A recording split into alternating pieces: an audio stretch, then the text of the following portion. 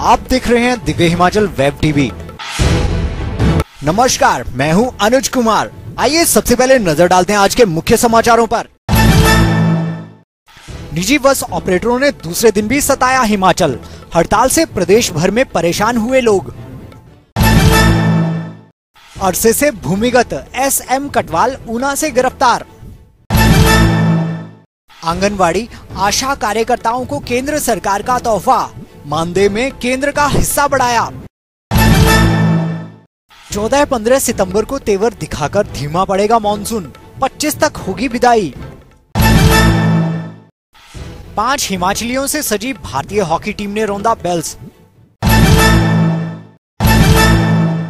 Priyadarshini senior secondary school Patti Palampur, जहाँ बच्चों को मिलेगा बेहतरीन कल। शानदार कैंपस, अनुभवी और गुणी अध्यापक। बेहतरीन क्लासरूम के साथ 25 साल का अटूट विश्वास। यहाँ से निकले छात्र सेना, स्वास्थ्य और निजी कंपनियों में उच्च पदों पर सेवाएँ दे रहे हैं। 100 प्रतिशत रिज़ल्ट और बोर्ड परीक्षाओं में हर बार मेरिट में स्थान। अगर आप भी अपने बच्चे के लिए सुनहरे कल का सपना देख रहे हैं तो देर किस बात की? चले आइए प्रियदर्शनी सीनियर सेकेंडरी स्कूल पट्टी में। इसके अलावा एस का प्रवेश भी आरंभ हो गया है। तो आज ही पंजीकरण करवाएँ। हमारा स्टडी सेंटर नंबर है चार दो चार और सेंटर कोड है दो तीन एक पाँच। और अब समाचार विस्तार से। निजी बसों की हड़ताल के कारण मंगलवार को भी प्रदेश के लोगों को बेशुमार दिक्कतें झेलनी पड़ी। एचआरटीसी ने बेशक अपनी ओर से पूरी कोशिश की, लेकिन निजी बसों की कमी साफ़ खलती दिखी। ऑपरेटर हड़ताल के पक्ष में बेशक कितने भी तर्क दें, लेकिन आंदोलन के दूसरे दिन परेशानी से जूझ रहे लोग कई स्थानों पर निजी बस ऑपरेटरों को उनकी हठ धर्मिता पर कोसते नज़र आए इस बीच, ऊना जिला में 300 प्राइवेट बसें दूसरे दिन भी सड़कों पर नज़र नहीं आईं।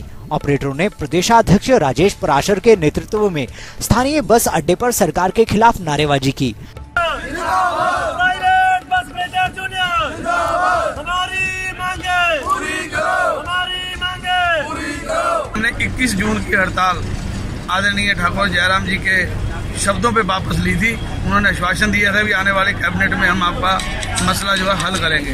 14-15 कैबिनेट बीत गई, नहीं हुई। मजबूरी में आकर हमारे को ये ना चाहते हुए भी हमारे को ये जो है स्टेप लेना पड़ा। जब तक हमारा निदान आर पार नहीं होता, तब तक अनिश्चित कालीन चली रहेगी। मंडी जिला में बेशक एचआरटीसी ने अतिरिक्त बसें उपलब्ध करवाई हों, लेकिन ग्रामीण क्षेत्रों में निजी बसों के अभाव में जनता ने दिक्कतें झेली निजी बस ऑपरेटरों की हड़ताल का असर हमीरपुर जिला के ग्रामीण क्षेत्रों में मंगलवार को साफ़ नज़र आया यहाँ प्राइवेट बसों के 375 रूट बंद रहे, जिस कारण एचआरटीसी द्वारा चलाई गई 60 बसें कमी पूरी करने में नाकाफी रहीं। सोलन जिला की बात करें तो बड़े बस अड्डों से लेकर छोटे छोटे बस ठहरावों पर भी परेशान यात्रियों की भीड़ लगी रही। सवारियों से खचाखच भरी एचआरटीसी की बसें घूम घूम कर लोगों को सुविधा देने का प्रयास करती रहीं, पर ये काफ़ी नहीं थी। निजी बस ऑपरेटरों की हड़ताल का खामियाजा कांगड़ा के जरूरतमंद यात्रियों को दूसरे दिन भी भुगतना पड़ा। जिला का कोई क्षेत्र ऐसा नहीं था जहाँ बसों की कमी महसूस नहीं की गई। परिवहन मंत्री गोविंद ठाकुर का अपना जिला कुल्लू भी निजी बसों की हड़ताल पर खूब पिसा। यहाँ दूसरे दिन भी 300 रूट प्रभावित हुए। बिलासपुर जिला के तमाम क्षेत्रों के लोग दूसरे दिन भी बस सुविधा को खूब तरसे। बिलासपुर के हमीरपुर सीमा से सटे शाहतलाई क्षेत्र में जनता को ज़्यादा परेशानी झेलनी पड़ी। मंगलवार को निजी बस हड़ताल में मात्र चंबा और शिमला जिला के लोग ही बच पाए। मणिमहेश यात्रा के कारण चंबा के ऑपरेटर हड़ताल में शामिल ही नहीं हुए थे, जबकि शिमला जिला के निजी बस ऑपरेटरों ने सोमवार शाम आंदोलन से हाथ खींच लिए थे। तत्कालीन अधीनस्थ सेवाएँ चयन बोर्ड हमीरपुर के 16 साल पुराने भर्ती घोटाले में दोषी करार दिए गए पूर्व बोर्ड अध्यक्ष एस एम कटवाल को आखिरकार गिरफ़्तार कर लिया गया है। यह गिरफ्तारी विजिलेंस ब्यूरो की टीम ने मंगलवार को ऊना में अंजाम दी। बता दें कि वर्ष 2001-2002 के भर्ती घोटाले में हमीरपुर सेशन कोर्ट ने कटवाल सहित चार आरोपियों को दोषी ठहराते हुए एक एक साल की सजा सुनाई थी। सजा के खिलाफ की गई अपील सुप्रीम कोर्ट तक से खारिज हो गई। इसके बाद तीन दोषियों ने तो सरेंडर कर दिया, पर कटवाल ने ऐसा ना कर भूमिगत होने का रास्ता चुना था।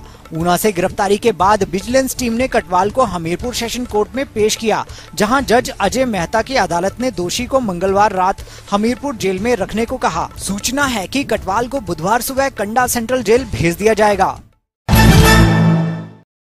प्रधानमंत्री नरेंद्र मोदी ने मंगलवार को हिमाचल प्रदेश सहित पूरे देश की आंगनवाड़ी कार्यकर्ताओं को तोहफा देते हुए उनके मानदेय में केंद्र का हिस्सा तीन हज़ार रूपए ऐसी बढ़ाकर साढ़े चार हज़ार रूपए और सहायिकाओं के मानदेय में केंद्र का हिस्सा पंद्रह सौ रूपए ऐसी बढ़ाकर दो हज़ार दो सौ पचास रूपए प्रतिमाह करने की घोषणा की है।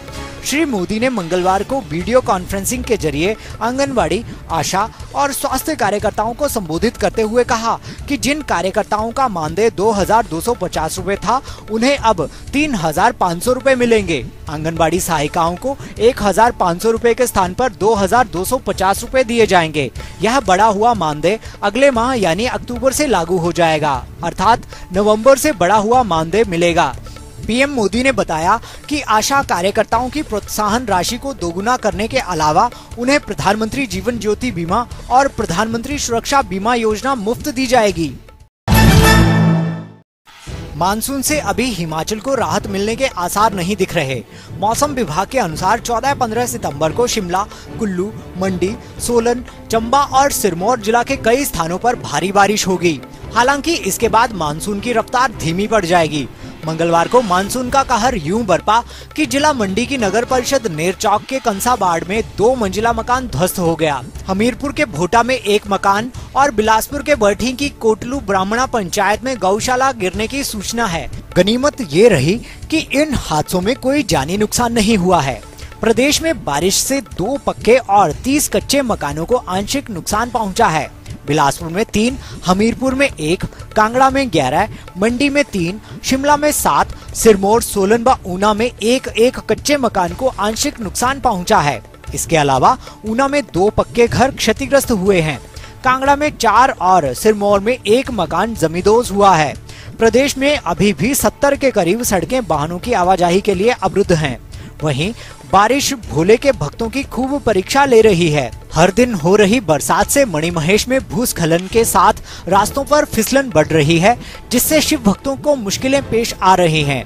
उधर, मौसम विभाग के निदेशक डॉक्टर मनमोहन सिंह ने 25 सितंबर तक प्रदेश से मानसून रुखसत होने का दावा किया है, पर इससे पहले दो दिन प्रदेश के कई जिलों में व्यापक बारिश होगी मानसून विदा होने की सूचना से प्रदेश वासियों ने कुछ हद तक राहत ज़रूर महसूस की है दिव्य हिमाचल मीडिया ग्रुप के मंच से निकले नगीने देश भर में अपनी चमक बिखेर रहे हैं। हिमाचल एक्सीलेंस अवार्ड से सम्मानित ऊना के नितिन कुमार और हिमाचल की आवाज़ सीज़न वन के फ़र्स्ट रनर अप शिमला जिला के कोटगढ़ निवासी अंकुश भारद्वाज ने इंडियन आइडल के टॉप 11 में जगह बना ली है। सुरीली आवाज़ के धनी दोनों ही फनकार सोनी एंटरटेनमेंट टेलीविज़न पर प्रसारित होने वाले रियलिटी शो में सुरों की ऐसी तान छेड़ रहे हैं कि जज तो क्या पूरा देश झूम रहा है। हालाँकि, अब दोनों के लिए आगे का सफ़र कठिन होता जाएगा। पर हिमाचल वासियों के सहयोग से हिमाचल की आवाज़ें इंडिया की आवाज़ बन सकती हैं। इसके लिए लोगों को सोनी लाइव ऐप के ज़रिए वोटिंग करनी होगी। नितिन के पिता राजेंद्र कुमार ने प्रदेश के लोगों से अपील की है कि वे ज़्यादा से ज़्यादा वोटिंग करें। दूसरी ओर, मंगलवार को दिव्य हिमाचल वेब टीवी ने नितिन के घर, शिवपुर पहुँच माता पिता और पड़ोसियों से नितिन की उपलब्धियों पर बातचीत की। बेशक बॉर्डर पर भारत पाकिस्तान के रिश्तों में कड़वाहट है, पर हिमाचल पहुँचे पाकिस्तान के बेमौसमी आम ने मिठास घोलकर सबका दिल जीत लिया है।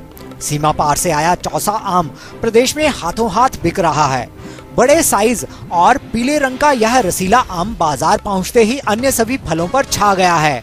यह रोचक है कि हिमाचल में जारी सेव सीज़न के बीच भी प्रदेश के लोग इसकी डिमांड कर रहे हैं।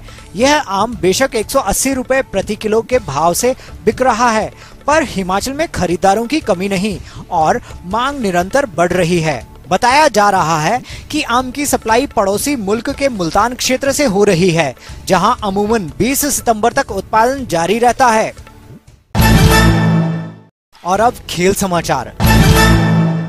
कांगड़ा जिला के निवासी युवा एथलीट अनकेश चौधरी सर्विसेज़ के लिए दौड़ते नज़र आएँगे। ऊना स्पोर्ट्स हॉस्टल से संबंध और वर्तमान में स्पोर्ट्स सेंटर पुणे में प्रशिक्षण प्राप्त कर रहे अनकेश ने बंगलुरु में आयोजित प्रतियोगिता में आर्मी स्पोर्ट्स इंस्टीट्यूट का प्रतिनिधित्व करते हुए ऐसा फराटा भरा कि सर्विसेज़ मैनेजमेंट ने उन्हें तुरंत अपनी टीम में शामिल कर लिया। दरअसल, अनकेश ने यहाँ 800 मीटर दौड़ एक मिनट 50 सेकंड में पूरी कर खेल जगत का ध्यान आकर्षित किया था। बता दें कि कम आयु के कारण जूनियर एथलीट होने के बावजूद अनकेश को जकार्ता एशियन गेम्स के लिए ट्रायल देने का अवसर मिला था। इस दौरान उन्होंने देश भर के नामचीन 800 मीटर रेस के धावकों को कड़ी चुनौती देते हुए चौथा स्थान हासिल किया था। अनकेश चौधरी की ताज़ा कामयाबी से स्पोर्ट्स हॉस्टल ऊना के एथलेटिक्स कोच भागीरथ गदगद हैं। उन्हें उम्मीद है कि अनकेश जल्द ही भारत की जर्सी में खेलते नज़र आएँगे।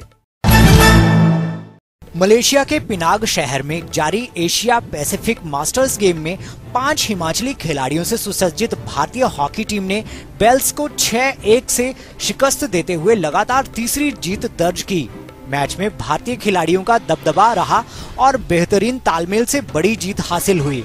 इस कामयाबी से हिमाचल को दोहरे गर्व की अनुभूति हुई, क्योंकि भारतीय खिलाड़ियों की तरफ़ से किए गए कुल छह में से तीन गोल हिमाचली खिलाड़ियों, दर्शन और यशपाल की स्टिक से निकले।